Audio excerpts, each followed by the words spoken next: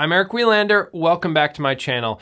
So CES is come and gone, and we have a pretty good idea about what products are coming in 2024. And I'm gonna list eight ideas of ways I think are good to upgrade your smart home in 2024. And picking any of these should give you a nice quality of life improvement, while also hopefully not buying technology that's gonna be obsolete the day after you get it. And let me know in the comments below which of these ways are most interesting to you. And thanks to Opal and their TAD Tadpole camera for sponsoring this video. More on them in a minute. Now, first on the list is upgrading your TV area. Now, this has a few different options depending on your setup. The first is that if you're in the market for a new television, consider getting one that supports Apple Home or HomeKit. And you gotta be careful because there's also a supports Apple AirPlay badge that is totally separate. Now, when you have a TV that supports Apple Home, you can scan the HomeKit code on the screen add it just like any other accessory in your smart home, and then control the power as well as the TV input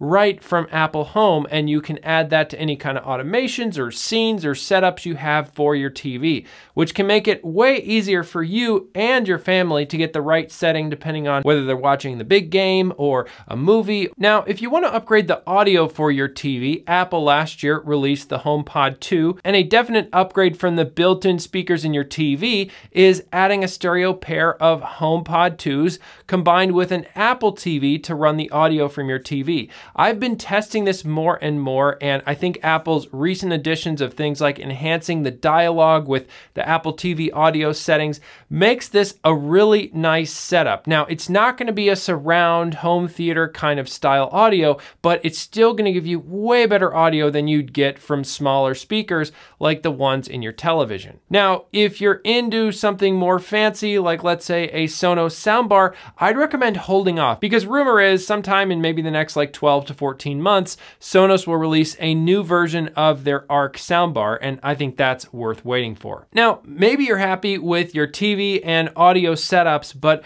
one other thing you might not have thought about is to add some accent lighting under pieces of furniture, like let's say an entertainment center or things that then can just add a little bit of brightness when you need it to get up to go to the kitchen to get a snack or something something. And we have a lot of great Matter supported LED light strips out there that you can use for this. Now, my current pick in this category would be the Nanoleaf Essentials light strip that supports Matter. And then you have a light that you can change to different colors and brightness levels right in your movie time scene or automate with a motion sensor when the other lights are off. And also stay tuned in this category in 2024 because Govee will be releasing a new, what they call spotless LED light strip that has diffusion built in. You won't be able to see the individual LED lights on the strip, just the glowing light. And if LED light strips aren't really your thing, GE Cync is coming out with some under cabinet lighting that supports Matter that I'll be checking out later this year as well. Now, for letting yourself or your friends in to watch the big game or movie, a home key smart lock is a great improvement. This is where you can just tap your iPhone or Apple Watch that's part of your Apple Home, and then it will unlock the door for you. And I'm gonna talk about my current favorite home key smart lock in this category, as well as some others to look out for. But first, thanks to Opal and their Tadpole camera for sponsoring this video. I've heard a lot of great things about the Tadpole since its launch, so I was very excited to try it out when Opal wanted to sponsor a video. You've probably picked out clothes you like to look professional at the office, but when you're working remote or joining a video call, most of us don't pay enough attention to our video and audio quality. Improving this not only looks professional, but it helps other people in the meeting hear you clearly and see your facial expressions and gestures. Opal's new Tadpole can give you exceptional video quality for your laptop or iPad video conferencing in an Apple-like design. The camera has a Sony 48 megapixel sensor which is binned to a sharp 1080p image with a six element lens in front of it. But the camera is tiny and can clip on the top of your laptop or tablet and connects with a braided USB-C cable. After plugging it in, it just works without any software. Opal also has a free app you can download if you want to tweak your camera settings. My favorite feature is that when you're using the Tadpole's built-in directional mic, the USB-C connector has a tap to mute button. Just tap on the top of the connector to mute and unmute for calls. When you're muted, the connector and the camera both show a red light. When I'm in a meeting, it's easy for the software mute button to get buried by other tabs or windows on my Mac. Now I have a quick control right by my keyboard to unmute and chime in when needed. But I'm also certain I'm muted when I see that red dot. Well, I love YouTube. My primary job is leading a remote software development team. After using an Opal Tadpole in plenty of remote meetings at home, it's also earned a spot in my travel bag to improve my video quality in the poor lighting of offices and hotel rooms. To learn more and get an Opal Tadpole for yourself, check out the link in the description and use my promo code ERIC with a C to get 15% off your order. Thanks again to Opal for sponsoring this video. So my current pick for HomeKey locks is the Schlage Encode Plus, and it's actually become much more available than it used to be. There was a long time where if you tried to get it, you'd had to wait a while or just go through all these listings of it being out of stock. Now, one of the reasons I like the Schlage Encode Plus is because it supports HomeKey. It also has a keypad on there which you can control right inside the Home app to give other guests and family members specific codes they can use to unlock the front door. And it also seems to handle situations well where you can't use, let's say, the Schlage supplied strike plate, or you have some kind of funky situation where your door and your door frame don't always line up just perfectly because a lot of deadbolt smart locks want to just go straight into the deadbolt. And if you have a door that maybe is just a little bit off, then that's going to have problems. And the Schlage Encode Plus seems to handle that better in my experience than other locks I've tried. Now, keep that in mind. If you're thinking about upgrading to a smart lock on your door, you might want to just check the door and the door frame and make sure everything lines up nicely the same way when you open and close the door. Otherwise, adjusting or fixing your door or your door frame might be the first thing you need to do. And another one I'll be checking out is the Aqara U300. Now, it looks like this has all the hardware to support HomeKey and it has an NFC reader and things, but Aqara hasn't officially announced HomeKey support for this lock. Now, the cool thing about this lock is that it works with the handle. It's not for the deadbolt. So this could be a nice way to add a smart lock, maybe with HomeKey, to something like the door to your garage or your office or another place where a lock makes sense, but you don't have a deadbolt. Number three on my list is adding buttons to control Apple Home scenes. So I've talked about in the past how important Apple Home scenes are as sort of a building block for doing automation and other controls in your home. And then you can tie those scenes you create to buttons. And then when you add a button into the Apple Home app, you have an option usually for a single press, double press, or a long press on that button. So you basically get three controls in one. And you can do some more advanced stuff where you tie that to some kind of an automation. So depending on what time of day or other conditions are, when you press that button, it'll do different things. Now, there are a variety of different good buttons in this category. I've recently started playing with Tuo's smart button and it's cool because it has magnets on it so you can stick it places that are magnetic, but you can also put it on a wall mount. And the 2O button just by itself works with matter over thread, which is fantastic. Now I also like the Flic buttons. Well, they require a hub and have announced Matter support hopefully coming later this year. Their buttons are really small, so you can easily stick them a lot of different places. So for example, back to the TV scenario earlier, we have these little C tables around our couch where we watch TV and I've put buttons underneath of those C tables where then as we're ready for more, let's say of a dim light movie scene, I can just press that button and it'll turn off all the main lights and then we're ready to watch our movie. And then when it's done, I can press that same button again and it'll turn on sort of this dim lighting so we're not overwhelmed by the brightness of the lights after this movie and then can get up and see everything and go on with our lives. And so sometimes having buttons like this where you know based on the type of content you're going to watch, whether you want the lights off or not, then just hitting a button is easier than trying to say, well, if I'm watching TV and it's a Wednesday after 7 p.m., then just turn off the lights because that might annoy people in your home more than just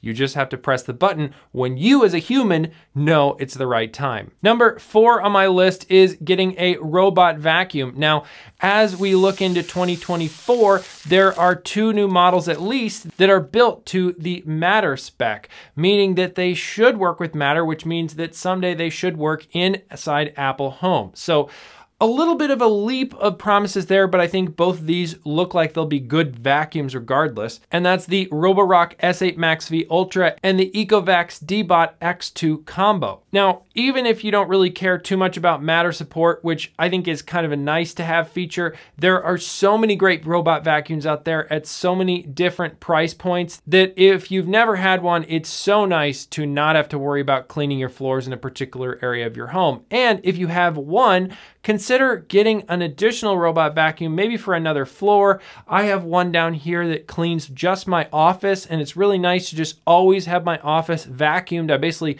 never have to vacuum my office myself because the robot takes care of it. Number five on my list is improving your outdoor smart home. Now, Lutron has my favorite outdoor smart plug if you use their lights, which is in your home. It's very expensive for a smart plug, but it works really well. And so Recommend checking out their outdoor smart plug if you're considering that. There are also some more affordable options out there for outdoor smart plugs, but we've also had a lot of options for outdoor lighting. Nanoleaf announced some this year at CES. Now, something I have tried is the Sonos Move 2. That came out late last year, and it's a really nice outdoor speaker that then you can use also inside, and it not only works with Sonos system, but it supports Apple's AirPlay too. So you could use it with your iPhone or other Apple devices to play audio that way, and even combine it in those cases with HomePods you might have, but it could be a great way to get into the Sonos system if you don't have that already. And yes, it even works as a Bluetooth speaker if that's something you're into, especially for maybe having a friend play some music from their phone. Now, it's definitely bigger than a lot of Bluetooth speakers, but that's because it also sounds good. And so you just grab the built-in handle, carry it out to a backyard or back deck, and you're gonna have a great listening setup. And with the new version, you get better touch controls on top, you get better battery life. HomeKit Secure Video is Apple's way of storing recorded clips from your security cameras right in iCloud. So you don't need to pay for an additional video subscription if you already pay for iCloud Plus with additional storage. And these recorded clips don't count against your storage allotments. Now, there are a bunch of pros and cons to HomeKit Secure Video that I've talked about in previous videos, but the, right now there are so many good options of HomeKit Secure Video cameras for inside your home, and I would look at something like the TP-Link Tapo C125 that I recently reviewed on this channel. Number seven on the list is adding sensors for automation. Now, I think Aqara has some recent updates here that are really good to consider. The first is the Aqara P2 door and window sensor. Now, this sensor works works with matter over threads. So you don't even need to be into the Aqara system to use this sensor. And this will tell you when a door, let's say a closet door or really any door in your home is opened or closed. And you can adjust the smart lighting around there with automation in Apple Home. And the other added benefit here that we got late last year is the ability to see logs that are private and secure inside of Apple Home about when these door sensors are opened and closed. So it's a nice peace of mind way to check if a door has been opened or closed over the past few days. And then also I find these door sensors handy as we're leaving the home and thinking, oh, did we leave that door open for the cats to get around the house or is it closed? And you can just check in the home app, yes, the door's open. Now, if you're already a little bit more advanced in smart home setups, I would recommend checking out the Aqara FP2. This is a very futuristic millimeter wave sensor. It's sort of like the next generation of way to detect people in rooms compared to what you've seen in a lot of typical motion sensors for years and years, which is passive infrared. And the millimeter wave is way more precise and you can do all kinds of cool automation automation with this, and Aqara keeps adding more and more features with software updates to this sensor. Now, you don't even need an Aqara hub to do this. It'll connect straight to your network and then go right into Apple Home. And then Aqara's app also has a lot of ways you can customize and dial in the settings for this sensor. And even if you have some of those sensors in particular rooms in your home, consider where it might be a good place to add them over the next year. Number eight on my list is to monitor your energy. Now, Eve is a great European company that makes smart home tech for Apple and now everything with Matter. And they have the Eve Energy Smart Plug as well as what's coming out very soon, the Eve Energy Outlet. And both of these allow you to monitor your energy use from those plugs. And you can even make smart home automations based on that. So when, let's say, some kind of a appliance connected to it starts using less energy, maybe that means that it's off and you could change a color of light somewhere else in your home. It can also just be good for troubleshooting, like making sure that a smart TV or something else is not taking up too much power. You can cut power to things to save energy. So if you're concerned about using less energy, whether that's to save money or save the environment or both, Eve has a lot of great products in this sort of Eve energy category